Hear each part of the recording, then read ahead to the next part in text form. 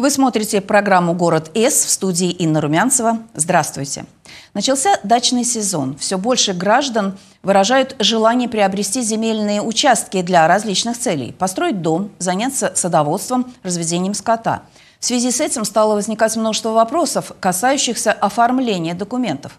На каких землях можно осуществлять ту или иную деятельность? Куда обращаться для регистрации земельных участков – Какие документы необходимы для этой процедуры? Об этом пойдет речь в сегодняшнем выпуске. И мой собеседник – начальник отдела регистрации земельных участков Управления Росреестра по Самарской области Павел Найдовский.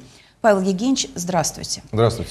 А, прежде всего, скажите, пожалуйста, несколько слов о том, вообще какими могут быть земельные участки в зависимости от целей их использования. И что такое ВРИ – вид э, разрешенного угу, использования. Все верно.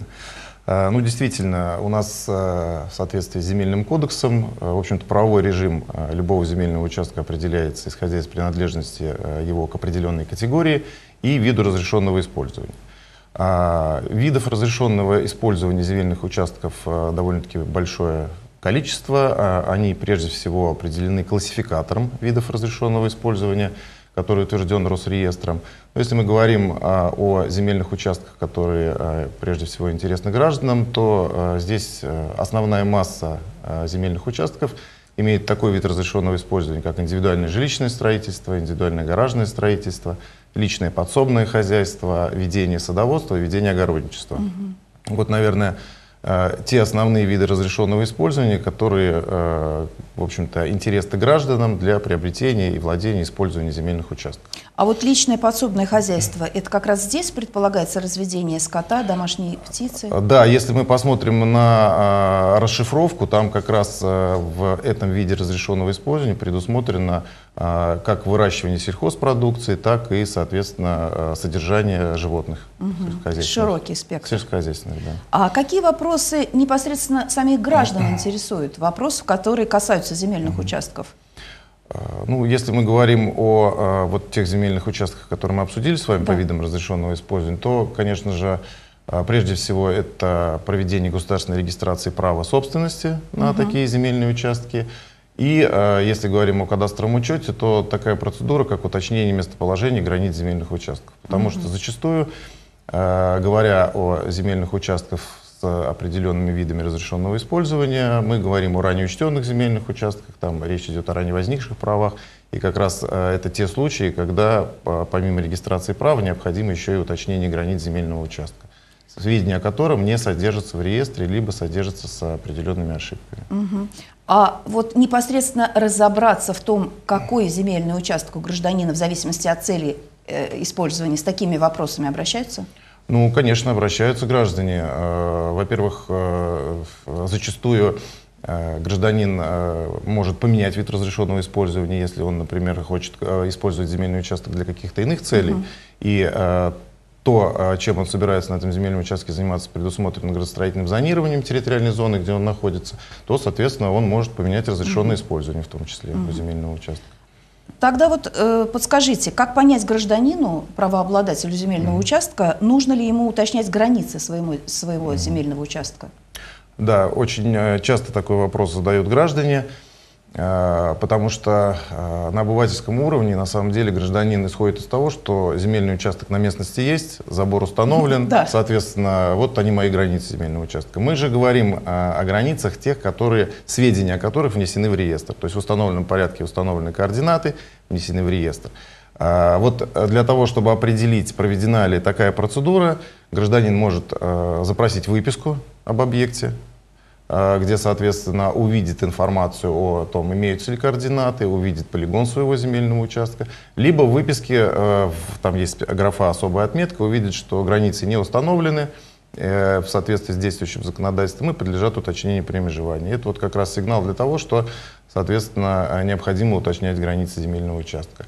Также можно э, эту информацию подчеркнуть э, из публичной кадастровой карты, угу. то есть довольно-таки распространенный ресурс, многие граждане сейчас умеют пользоваться этим, соответственно, э, обратившись э, на публичную кадастровую карту, зная кадастровый номер своего земельного участка, можно эту информацию получить в том числе на публичной кадастровой карте. Там будет информация, что границы э, отсутствуют, и на, соответственно, на карте вы не увидите, в общем-то, полигон своего участка. Угу. Это тоже как раз будет говорить о необходимости уточнения границ. Если мы заказываем выписку из ЕГРН, где ее лучше заказывать? В МФЦ? А, в МФЦ, конечно, да. С, как бы граждане, как правило, э, запрашивают выписку через многофункциональный центр представления госмуниципальных услуг. Как быстро происходит это, не знаете? А, очень быстро происходит. На самом деле выписки сейчас формируются в автоматическом режиме.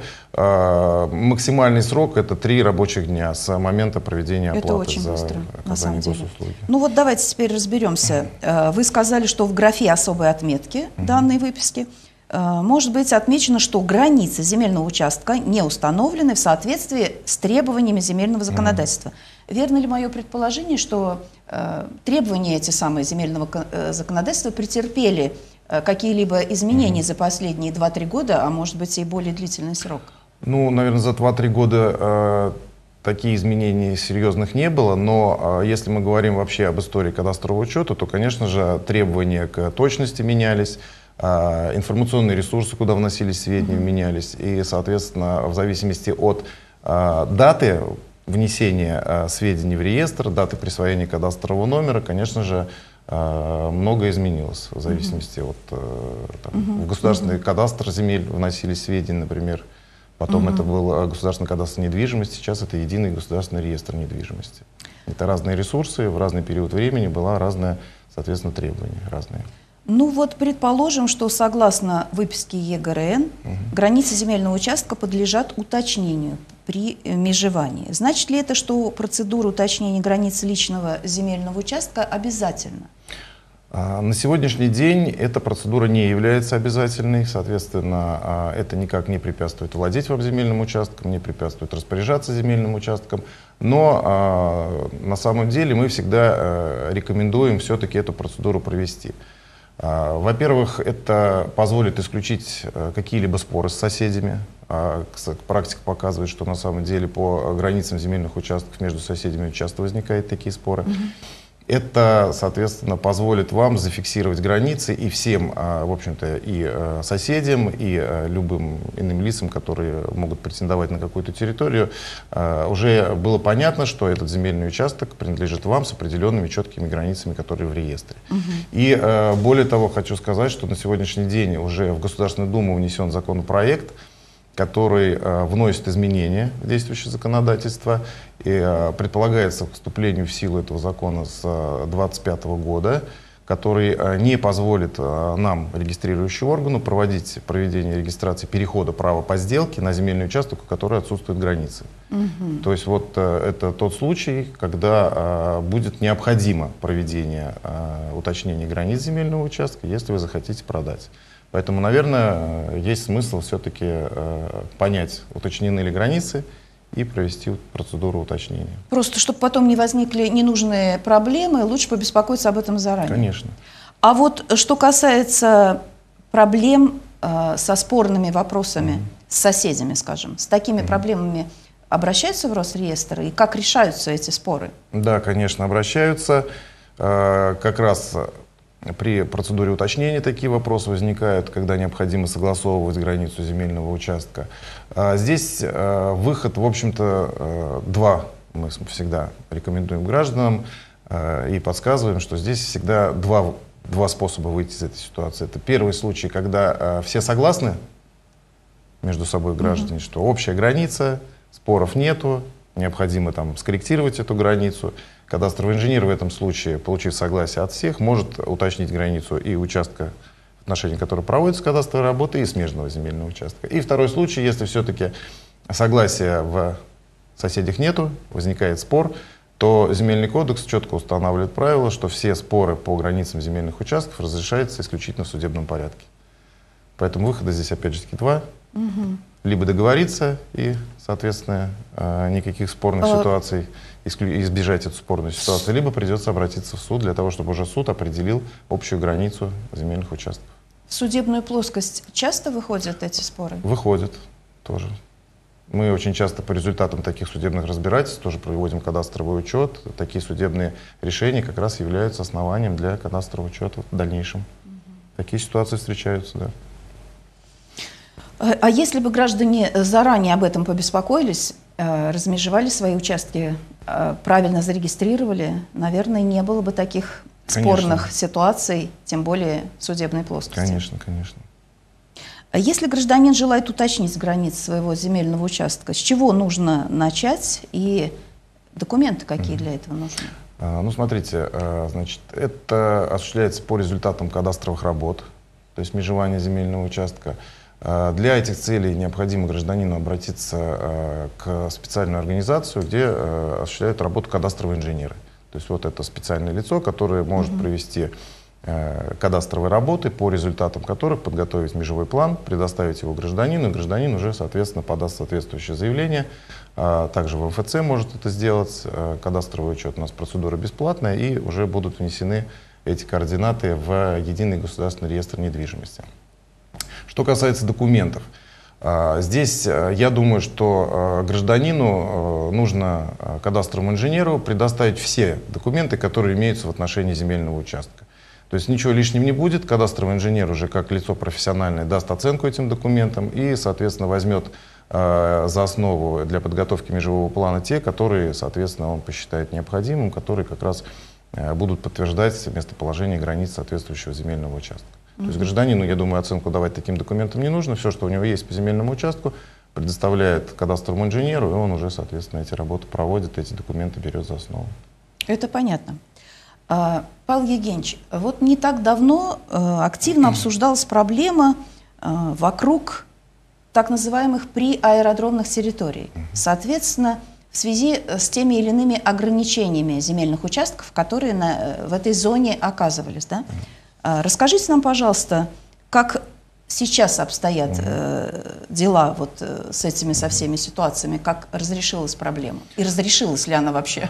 А, ну да, действительно, не так давно этот вопрос стоял очень остро. А после того, как э, была, э, были внесены в реестр границ, границы седьмой подзоны про аэродромной территории аэропорта Курумыч, большое количество земельных участков, большое количество территорий. Это Красноярский район, э, Волжский район, даже часть Самары эта территория захватила. Как раз э, попали туда земельные участки, и в отношении этих земельных участков были установлены довольно-таки серьезные ограничения. А, прежде всего, это ограничения, которые не позволяло гражданам осуществлять строительство жилых домов, садовых домов. Вот. А, в настоящее время, а, на самом деле, эта проблема разрешена. Она носила довольно-таки острый социальный а, как бы, аспект, потому что действительно большое количество земельных участков такого вот бытового назначения. Приобретались для того, чтобы там дом построить? Абсолютно верно, да. И как раз вот эта вот зона mm-hmm. установила запрет, который не позволял это сделать. На сегодняшний день граница данной седьмой подзоны значительно скорректирована. А, в общем-то, основная масса земельных участков а, таких была исключена, и, соответственно, ограничения также с этих земельных участков ушли. Вот. Угу. Поэтому можно сказать, что по большей части проблема, конечно, разрешена. Все отделались легким испугом, как ну, говорится. Сказать, да. Но это удачно. Хорошая информация. Угу. Кроме при аэродромной, какие еще существуют э, зоны э, с особыми угу. условиями использования? Да, здесь нужно сказать, что на сегодняшний день, э, во-первых, э, очень много зон с особыми условиями территори- территори- использования mm-hmm. территории, и э, все они подлежат внесению в реестр и э, устанавливают определенные ограничения. Более того, нужно сказать о том, что на сегодняшний день довольно-таки активно эти сведения вносятся в реестр. То есть новые новые? Новые постоянно, да. То есть это процесс э, идет постоянный, это и э, охранные зоны коммуникаций, это водоохранные зоны, это зоны памятников и многие-многие другие охранные зоны, которые... Культурные объекты, возможно. То же самое, да? да, зоны объекты культурного mm-hmm. наследия. Вот все они установлены. Возможно, при их внесении, если земельный участок попадает в эту границу, устанавливают определенные ограничения. Поэтому здесь э, я бы гражданам все-таки рекомендовал, mm-hmm. желающим приобрести земельный участок, детально ознакомиться с э, сведениями реестра, это опять же таки запросив выписку mm-hmm. об объекте. Mm-hmm где будет информация о, э, соответственно, зонах, где расположен земельный участок, и об ограничениях, которые устанавливает эта зона. Нужно э, как бы понять содержание этих зон, содержание этих ограничений, и после этого уже принимать решение о покупке земельного участка. Потому что, возможно, ограничения, которые установлены в отношении участка, не позволят гражданину, в общем-то, реализовать то, ради чего он этот участок Покупает. приобретает. Да. Угу. И здесь же у нас в этой связи тоже установлено определенные правила. Если гражданин продает земельный участок, то, соответственно, в любом договоре, в любой сделке, купли-продажи, дарения, аренда, должно быть указано на существующие ограничения, в том числе связанные с нахождением участка в определенной зоне с особыми условиями использования территории. То есть вот давайте это важное очень правило, оно рекомендованное или обязательное, это кстати сказать? То есть обязательно вот эти особые сведения должны да. быть отражены в сделке купли-продажи, дарения да, или аренды Аренда, да. земельного участка. Да. Это важно, чтобы потом вот не было таких э, сюрпризов да. неприятных. И гражданин, который приобретает участок, естественно, должен понимать их содержание. То есть Конечно. это именно для этих целей установлено правило о том, чтобы все сведения обо всех ограничениях были отражены в договоре. Угу. Ну вот теперь давайте подробнее остановимся на отличиях между земельными участками в зависимости от цели их использования. Э, собственно, мы уже начали рассматривать этот вопрос, да, просто здесь оказывается очень много нюансов. Вот один из таких, есть ли отличие между земельным участком для ведения садоводства и для ведения огородничества? Вот э, мне как человеку э, мало информированному в этих вопросах, кажется это практически одним и тем же на самом деле. А, ну, с одной стороны, вы правы, потому что а, и тот вид разрешенного использования, и другой, прежде всего, а, предназначены такие участки для отдыха граждан и выращивания сельхозкультур для собственных нужд. Но при этом в отношении них есть определенные очень существенные отличия. Если мы говорим о земельном участке для ведения садоводства, то на нем в соответствии с действующим законодательством допускается возведение жилого дома, садового дома угу. и иных хозяйственных построек, которые являются объектами недвижимости. Если мы говорим для, на, о земельном участке для ведения огородничества, то здесь как раз э, законодательством не предусмотрена возможность строительства каких-либо объектов капитального строительства, только временные объекты для хранения инвентаря и, соответственно, сельхозкультур, которые там выращиваются. Никаких объектов недвижимости на таком земельном участке возведено быть не может. То есть Правильно ли я поняла вас, что на участке, предназначенном для садоводства, можно построить жилой дом? А, да, все верно. Для участок для ведения садоводства угу. можно построить жилой дом. Дело в том, что вот а, здесь есть э, небольшой нюанс. Вот вы сказали ведение да, садоводства. именно ведение. А я сказала садоводство. Нет, То есть вот тоже разница. Тоже есть разница, угу. да. А, дело в том, что, угу. опять же таки, классификатором видов разрешенного использования, который утвержден Росреестр, о котором я говорил ранее, а, предусмотрен вид разрешенного использования садоводства и ведение садоводства. Если садоводство, то это как раз речь идет о а, выращивании плодовых культур, так называемое промышленное садоводство, и не предполагает какое-либо строительство каких-либо домов для собственных нужд. Только подсобки какие-то? Нет, это Сарайки. только только Сад. сады, да. Угу. А вот ведение садоводства это как раз участок для собственных нужд, для отдыха, для выращивания, для своих собственных, угу. опять же таки, нужд сельхоз продукции и, возможно, строительство как раз на таком земельном участке и жилых домов, и садовых домов. Угу. Именно ведение садоводства. Ви, на, э, да, при, при э, временном э, виде разрешен, разрешенного использования земельного участка ведения садоводства угу. можно построить жилой дом. Можно. Если э, вид разрешенного использования садоводства, дом строить нельзя. Совершенно верно. Ну вот, поди ты разберись во всем этом. Э, скажите, есть ли еще какие-либо особенности использования садовых земельных участков, которые могут не просто заинтересовать граждан, а быть очень полезными и необходимыми знаниями? А, ну, смотрите, э, основная масса земельных участков ведения садоводства, как правило, расположены в границах э, так называемых некоммерческих объединений садовых товариществ. Вот. Не все, но большая часть. И, соответственно, здесь я бы сказал о том, что в настоящее время законодательство установлен запрет на изменение вида разрешенного использования такого участка, если он находится в границах действующего садового товарищества, то, соответственно, никакого иного вида разрешенного использования, кроме как ведения садоводства, у него быть не может. Угу. Ну и, соответственно, обычно на этих, это старые дачные массивы, которые да. вот когда была эта дачная так называемая реформа, угу. люди переоформляли, приватизировали, да? Да, все верно. То есть там уже построены дачные домики или большие дома угу. жилые, да? То есть, в принципе, переоформлять что-то там ничего не требуется. А, ну, если а, права на этот дом оформлены, например, по старому порядку, угу. дело в том, что до 98 -го года тоже оформлялись права на а, садовые дома, на жилые дома, так называемые ранее возникшие права. Если они оформлены, то, конечно же, не нужно. Если э, речь идет о, о строении, которое находится на земельном участке, и никогда права не оформлялись, то, пожалуйста, можно воспользоваться как раз на сегодняшний день возможностью оформления прав. Угу. С какими распространенными проблемами сталкиваются граждане при государственной регистрации своих прав на земельные участки, кроме тех, о которых мы уже говорили с вами? А, ну, смотрите, э, я бы здесь, наверное, э, сказал о земельных участках, э, в отношении которых имеются ранее возникшие права, то есть документы старого образца. Угу. Вот, наверное, это вот те случаи, когда наиболее часто граждане сталкиваются с проблемами при регистрации. А, потому что, с одной стороны, такие документы являются основанием для регистрации, а с другой стороны, к сожалению, очень часто они были оформлены некачественно, имеют приписки, неоговоренные исправления, очень часто имеются ошибки в фамилии, в имени, в отчестве, что, соответственно, не позволяет нам провести регистрацию в таком административном порядке, скажем так.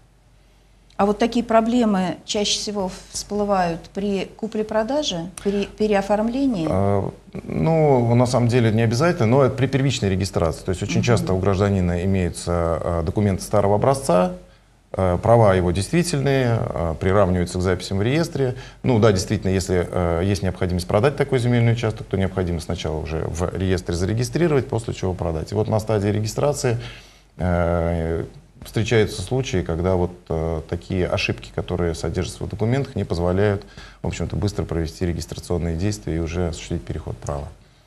Есть ли способ разрешить вот эти все возникающие проблемы? И если да, то как их разрешать? Куда нужно обращаться для этого? А, вот, к сожалению, в ситуации, которую мы обсудили, связанной с а, ошибками, содержащимися в документах, выданных ранее, ранее старого образца, то а, здесь иного выхода, как обратиться в суд, к сожалению, нет.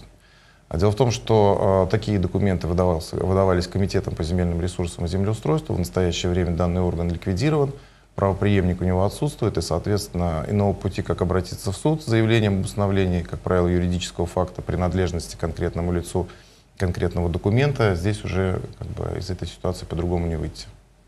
А бывают случаи с каким-то отрицательным исходом обращения в суд?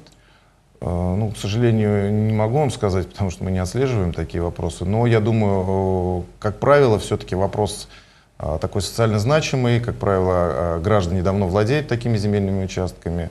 В общем-то, у них не возникает, э, как правило, вопросов, связанных с доказательной базой. То есть документы есть, они являются членами садовых товариществ, а свидетели подтверждают, что действительно они используют этот земельный участок, и суды, как правило, удовлетворяют такие требования, и мы видим довольно-таки большое количество таких судебных решений угу. при проведении их действий. Мы сегодня совсем не затронули тему гаражного строительства, угу. индивидуального. Угу.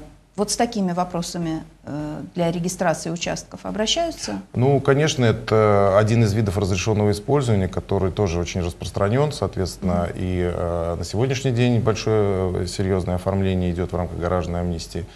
И э, довольно-таки большое количество документов старого образца, предоставленных гражданам э, для как раз размещения индивидуальных гаражей. То есть эта процедура идет постоянно и тоже занимает большой как бы, пласт нашей работы. А вот, кстати сказать, э, в этой теме а, какие проблемы возникают? Я предполагаю, что там как раз возможны старые документы, может быть, неточные какие-то данные, да? Да, все те же вопросы, все угу. те же вопросы, которые как бы касаются документов старого образца, касаются применительно как раз их ситуации индивидуального гаражного строительства, если эти документы выдавались как раз в тот период времени. А можно, можете ли вы сказать, вот так на вскидку, а, чаще всего э, какие участки земельные то есть для каких целей, я хочу сказать, э, регистрируют землю?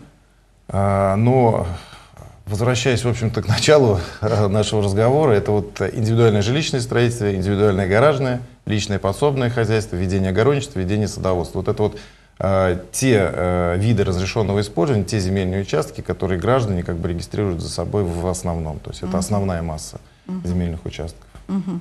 То есть у нас любят и сады разводить, и огороды. Конечно. И дома строить да. для отдыха, вероятно, и да. для проживания. Ну что ж, скажите, в таком случае, куда следует обращаться владельцу земельного участка для, и для регистрации, и, возможно, просто для проведения процедуры межевания, если угу. необходимость существует, такую процедуру провести? А, смотрите, если мы говорим о а, ситуации, когда у гражданина на руках имеются документы старого образца, то э, здесь и права, соответственно, его не зарегистрированы. Здесь э, необходимо обратиться в многофункциональный центр. И, как правило, подаются два заявления. Первое заявление – это заявление о внесении сведений о ранее учтенном земельном участке. А после проведения этой процедуры земельный участок вносится в кадастр недвижимости, ему присваивается кадастровый номер.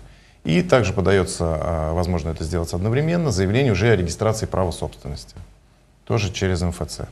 То есть все решается через МФЦ? Все решается через МФЦ. Все э, заявления подаются, соответственно, угу. гражданами, как правило, в многофункциональных На, центрах. Напрямую в Росреестр не, не следует обращаться? Нет, нет. Мы осуществляем регистрационные действия, постановку угу. на кадастровый учет, но прием э, заявлений и, соответственно, выдачу документов мы не Через. МФЦ? Да. Но это упрощает процедуру? Да. А, у нас есть еще немножечко времени угу. с вами, и э, вы обладаете исключительной возможностью обратиться к гражданам, возможно, дать какой-то нужный и полезный совет. Пожалуйста, воспользуйтесь этой возможностью. А, ну, опять же таки, э, презюмируя все то, что было сказано, э, я бы все-таки порекомендовал гражданам, э, вы, имеющим в собственности, во владении земельные участки, прежде всего выяснить, имеются ли в реестре недвижимости координаты. И если вы понимаете, что, соответственно, в реестре координаты отсутствуют, или содержит ошибку, то, соответственно, обратиться уже к профессионалу, к кадастровому инженеру, провести кадастровые работы и внести уточненные границы своего земельного участка в реестр недвижимости, что позволит уже как бы, говорить о полном стопроцентном оформлении прав на земельный участок, закреплении его на местности и уже полного понимания, что никаких э, проблем в этой части возникнуть не может в дальнейшем. Да, и спокойное обладание земельным участком без каких-либо да, проблем. спорных ситуаций, да. исключений. Наше эфирное время подошло к концу. Павел Евгеньевич, благодарю вас за полезную информацию, за подробные разъяснения. Напомню, сегодня гостем в студии был начальник отдела регистрации земельных участков Управления Росреестра по Самарской области Павел Найдовский. На этом я с вами прощаюсь. Берегите себя и своих близких.